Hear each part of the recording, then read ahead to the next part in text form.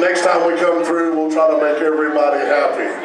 But I want you to know, as it is in the rock business, as it is on stage, it is in life. And we cannot make everyone happy every time. But tonight I'd like to say, I hope when you leave here,